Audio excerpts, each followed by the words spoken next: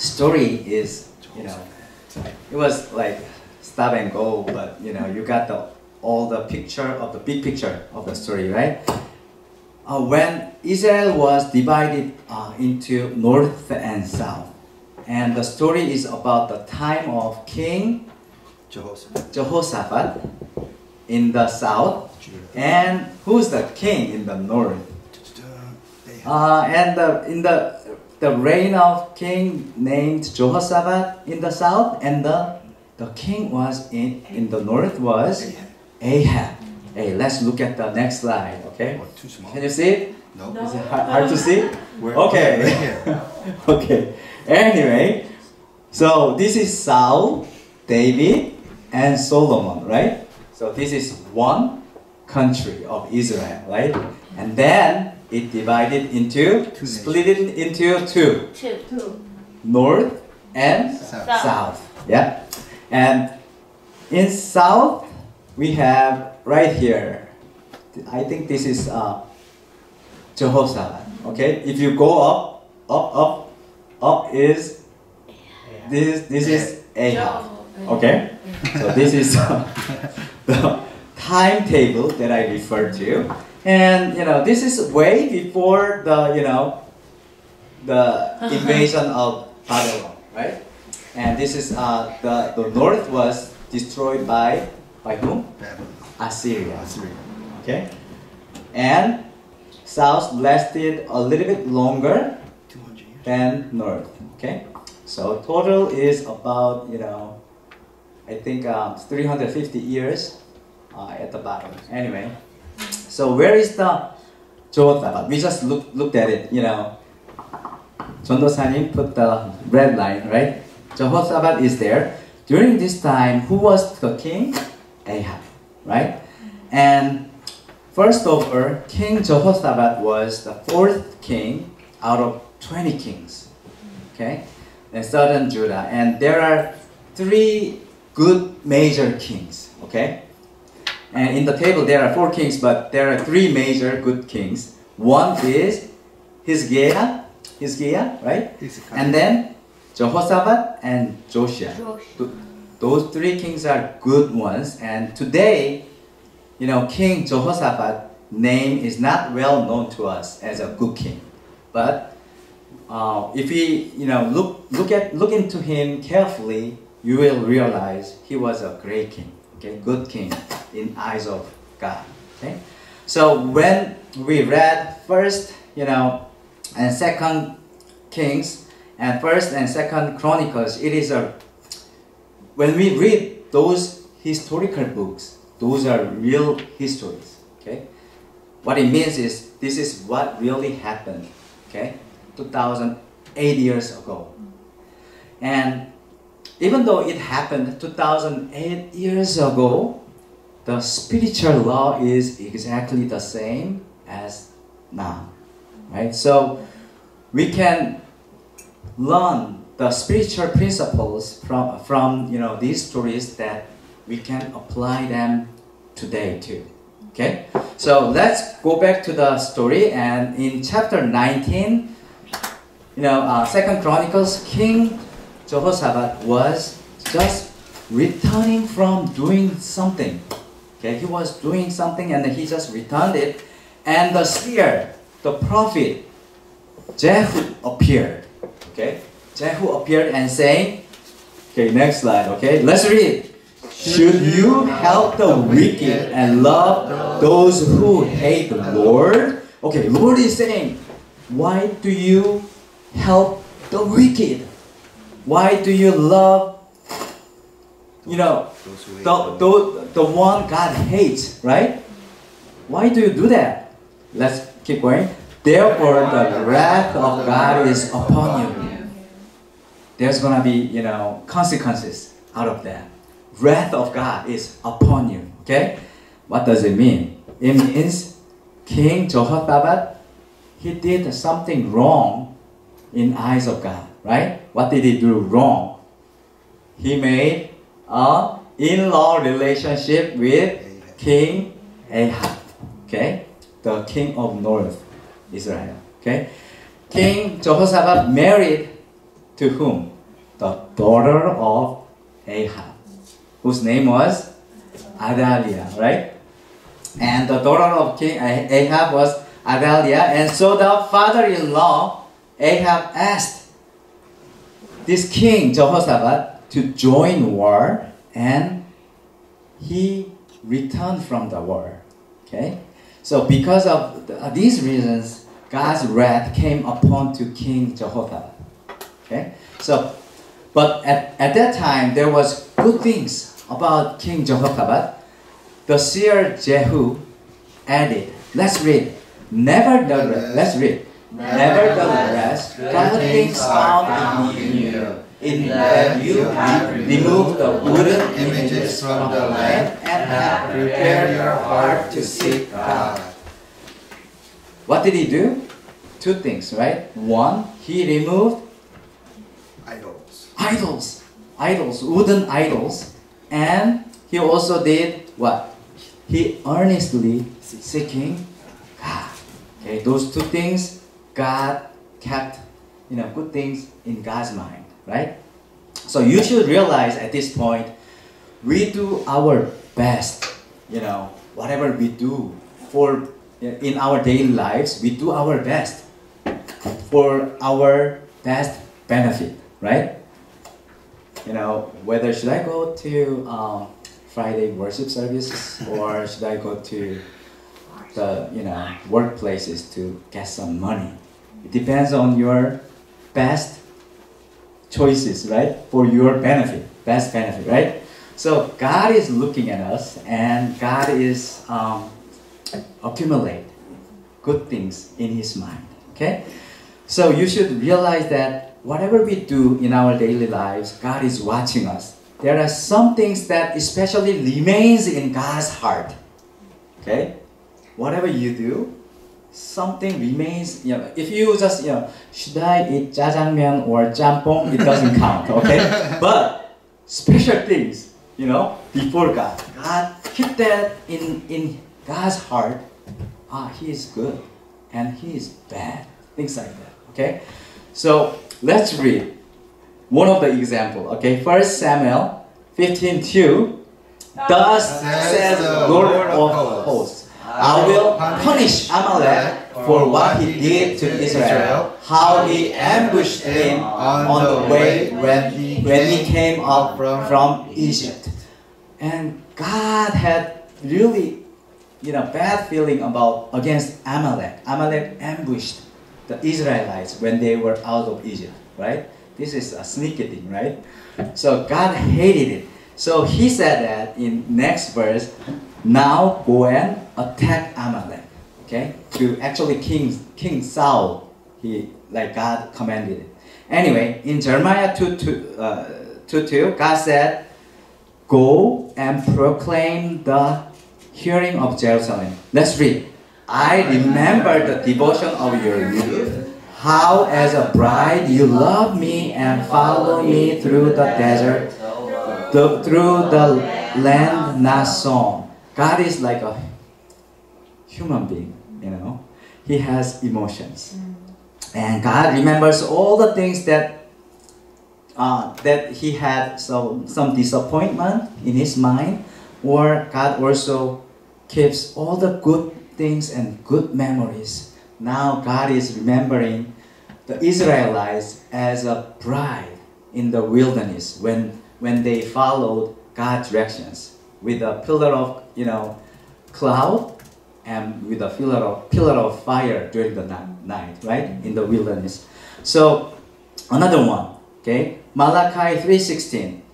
Let's read. So a book of remember was was written before him for those who fear the Lord and who meditate on His name. So God wrote, you know, your your name if you meditate His name and if you fear Him. Okay, God write down. Oh, this is you know, Alisa, Hyunju, Joseph, Hyunjung, everybody. Once you, you know, give a good impression to God. Okay, so at the start of the new year 2022, we need to be very keen on this issue, okay? So we need to keep doing whatever God can be pleased, right? And we need to find out what God is disappointed in us and remove them by finding them and repenting them in name of Jesus, okay?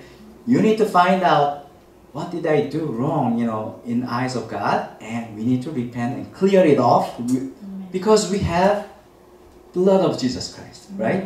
And by doing so, our 2024 would be spiritually prosperous. Okay? Amen. Amen. Amen.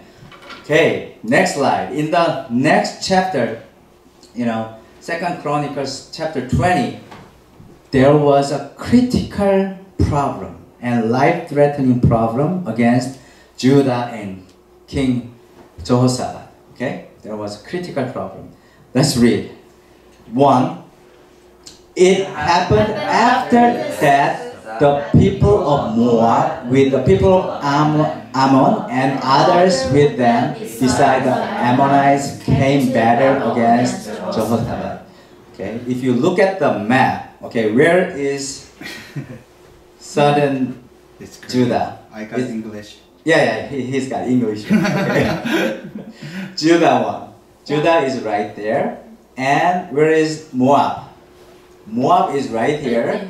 And Ammon. And this is, if you read through the you know whole story, then these guys, Edom, Edomites, they also joined in this you know enemy allies. So all the you know surrounding countries, they are against you know King Jehoshaphat, okay, and Judah. So allies of enemies around you know Judah came together and back.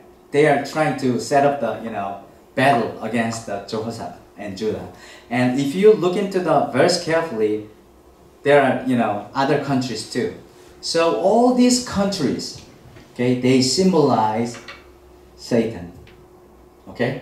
And you should realize that God also uses Satan, allows Satan's attacks in our lives to wake us up. Okay? Mm-hmm. And now King Jehoshaphat faced a critical life-threatening problem in his life. And in fact, God, i- God's will is, God's, you know, the bottom of God's heart is trying to remove remove or realize what Jehoshaphat did wrong against God. I mean, finding hidden sin in at the bottom of Jehoshaphat's mind. Now, it was you know Jehoshaphat's decision. Now, okay. So depending on how he he you know dealt with this problem, it would be either it could be ended up with destruction, or it could be stepping stone of you know to get blessings. Okay, so did King uh, overcome the situation, or what? Did he ended up with destruction? He overcame, right? He overcame the problem, and he and his people, people of Judah, got abundant blessings by winning this war, right? And in verse 25, they collected the plunders for how many days? Three days. Three days, yeah, three days, and they, they have peaceful realm of the Jehoshaphat, the king Jehoshaphat, you know. Uh, for God gave him the rest all around the con- you know country, in verse 30. Anyway, so the critical life-threatening problem became a stepping stone to get abundant blessings. Amen. Right? Amen. So how did it happen, you know? How did it happen? We should know the details of what King Jehoshaphat did and follow the way and we need to follow the way he did did it. How he dealt the problem, we need to know in details. So mm-hmm. that's what I'm going to tell you about. Turning curses into blessings. Amen. Amen. Amen. So next slide. King Joseph, Jehoshaphat was afraid at first. Who's not gonna be afraid? Everybody is against you mm. and trying to kill you. Mm. Just you know, imagine that. And and when he heard the news that all the you know eh, you know allied forces of four countries neighboring countries, they are launching all-out attack, you know. And then, and then what did he do first? He fixed his eyes on God. God. What did he do? Let's read it. Fix his eyes on God. Let's read it. To 12 to 2012. Oh, oh our God, will you not judge them? For we have no power against this great multitude that is coming against us, nor do we know what to do, but our eyes are upon you. Jehoshaphat was really humble and he said, I don't know what to do. God, I just look at you and will you not judge them? Okay. What does it mean by fixing eyes on God? To uh, this means like focusing only, you know, my own relationship with God. Okay, and to realize my my own appearance, naked appearance before God. Okay, so people must, you know, first have light. When when you find out your sins, you got to have the true light from God to mm. find out hidden sins in you, right? Mm. So that you can get to know your real problems. Okay? And what is wrong? What needs to be corrected and what God is trying to upgrade with me. So without the light of God, you cannot find it. Mm. So we tend to find out our own, own solutions in, in this kind of situations. Okay, when you have a big problem, and we tend to find out our own solutions, right? Yes.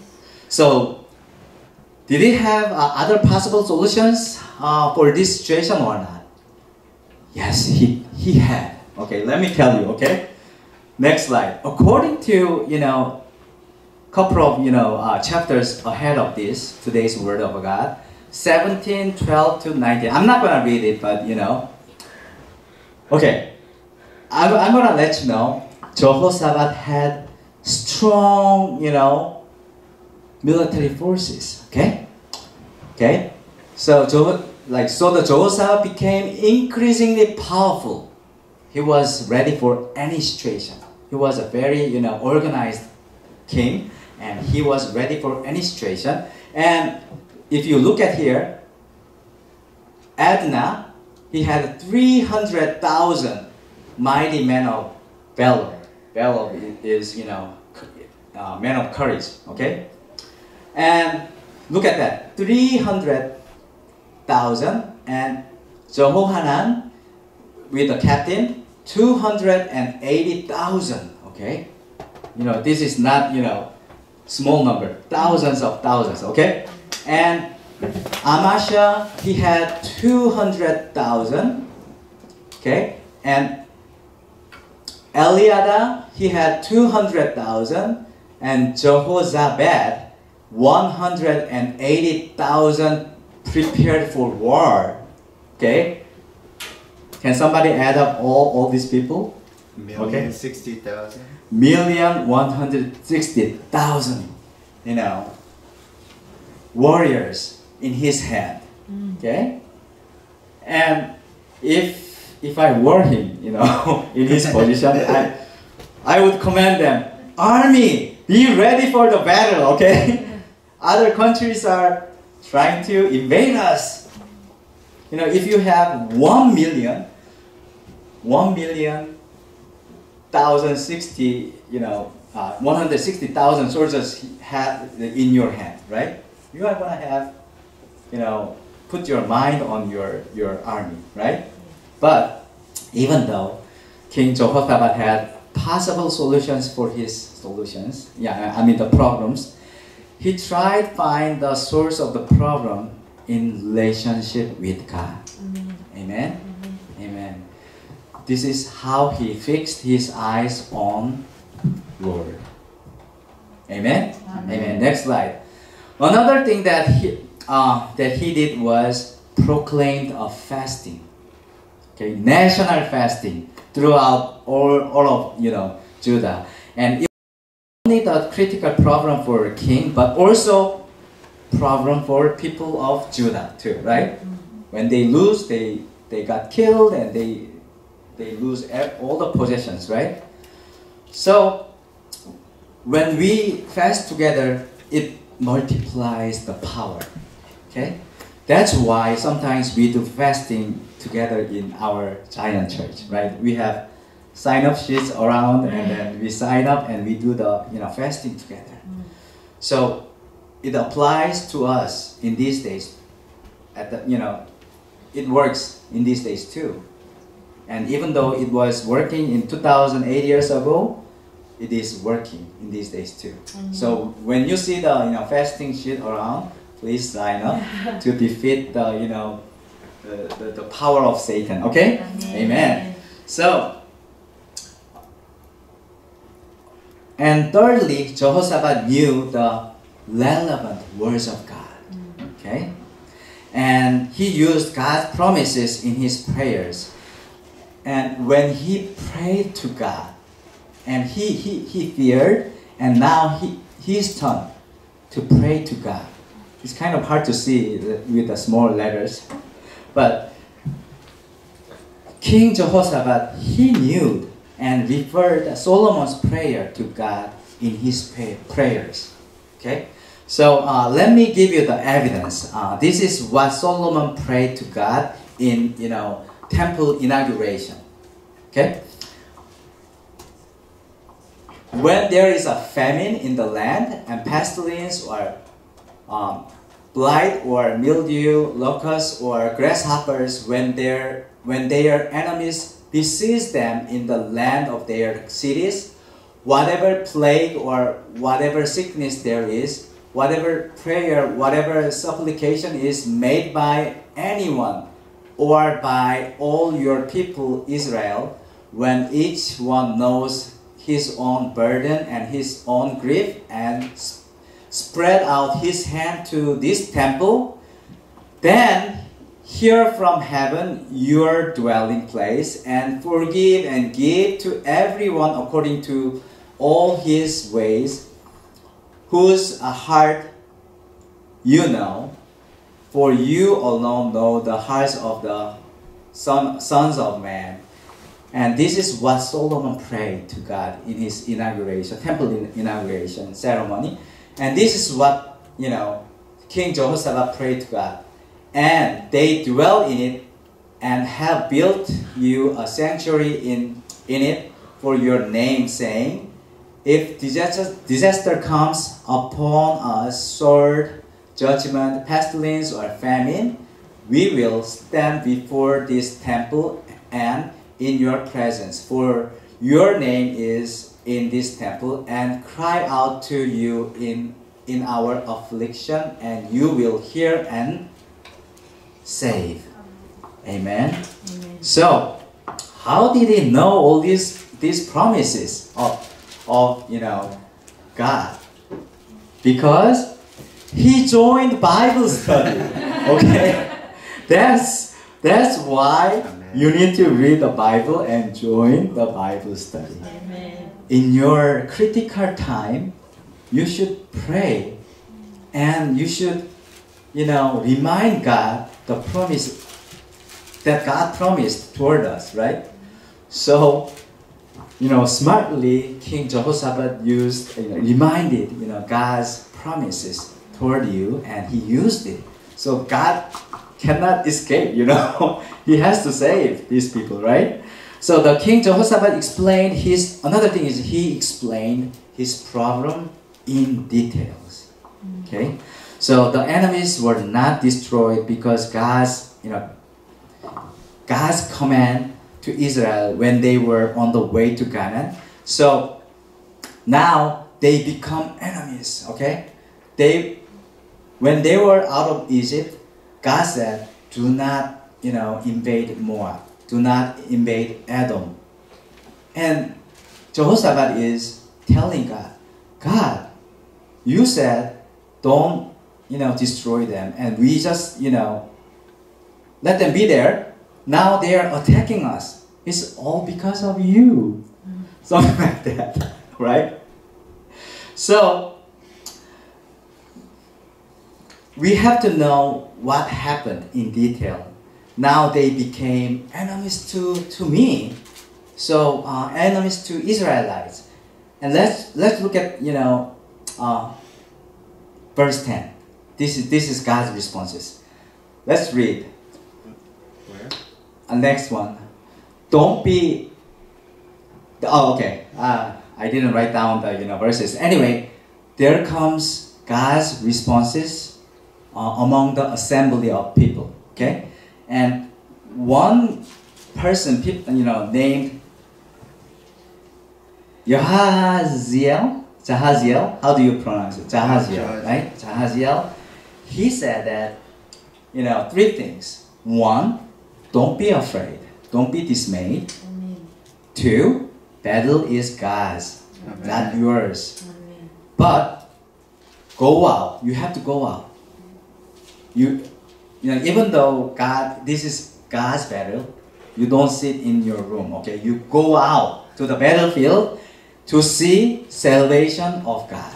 Amen. Amen. These three things came to God through Jahaziel. Okay, so now look at the king Jehosh- Jehoshaphat's reaction to God's responses. And he and his people of Judah, they what they what did they do? They bowed down their faces to the ground in presence of God, right? And they worshiped the Lord, right? They showed their their respect to God, right? So even though they were, you know, okay, on top of this, okay, this is you know what King Jehoshaphat did, okay, voluntarily, okay. Even though there was no direction from God or or any prophet, King Jehoshaphat did two more things. This is like, you know, buy one, get two free, something like that, okay? Voluntarily, you know, to King Jehoshaphat did. He urged, you know, all the people to believe in God and his prophet, okay? And he commanded, you know, anyway. In verse 2020, did I write that down? Okay, let's read. Hear me, O Judah, and you inhabitants of Jerusalem. Believe in the Lord your God, and you shall be established. Believe in his prophet, and you shall be prosper. Okay? You shall be what? Prosperous. Established, you shall be prosperous. Okay? So, this is one thing that he did, and King Jehoshaphat also did, he appointed A priest. Praise. praise team before the army okay and and they when they started singing when they gave praise to god the enemies they fought against each other and they self-destroyed okay they were self-destroyed they fight against each other the enemies itself they destroyed by themselves. Okay? So this is the power of praise and this and the praise moves the army of god and to defeat you know their enemies. And our enemies too. When you give praise to god you know angel of god moves and destroy your enemies. Amen?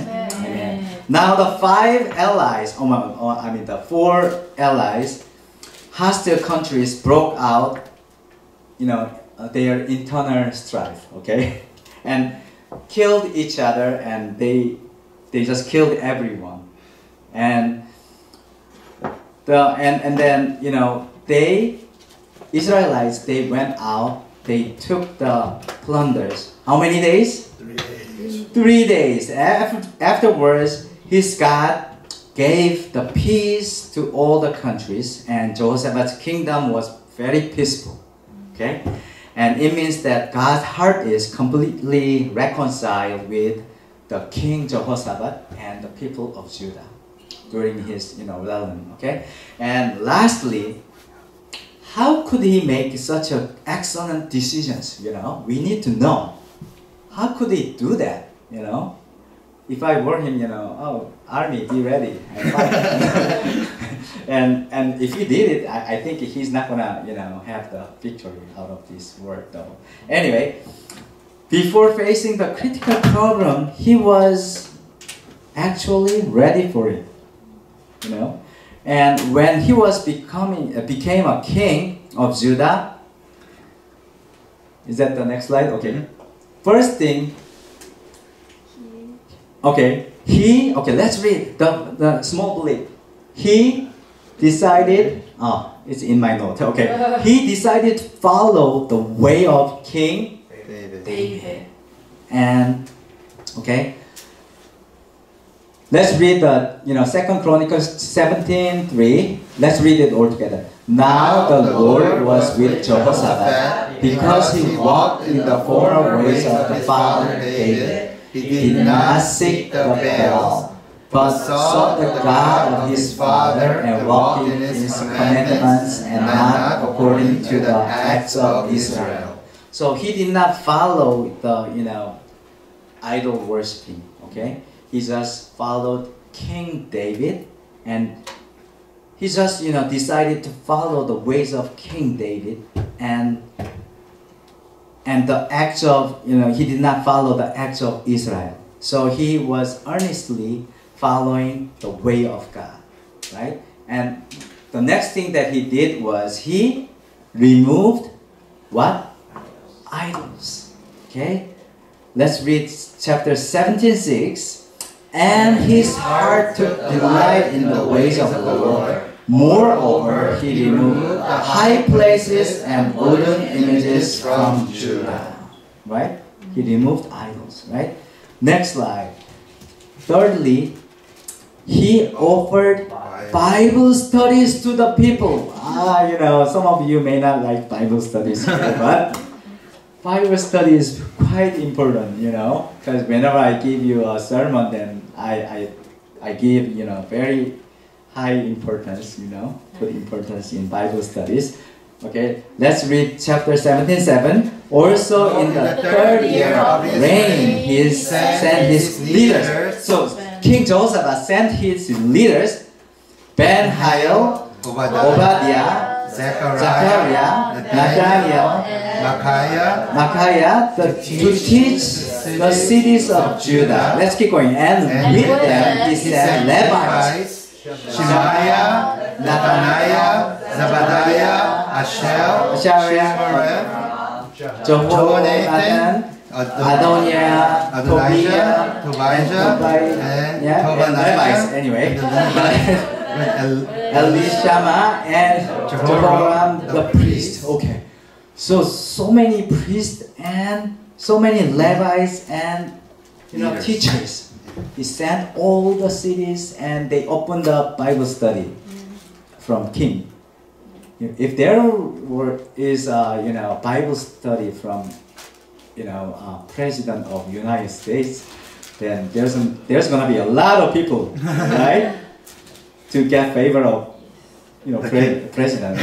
So, something like that. Even though they went there you know voluntarily to love uh, to love god to get to know god or to get favor of king it doesn't matter you know.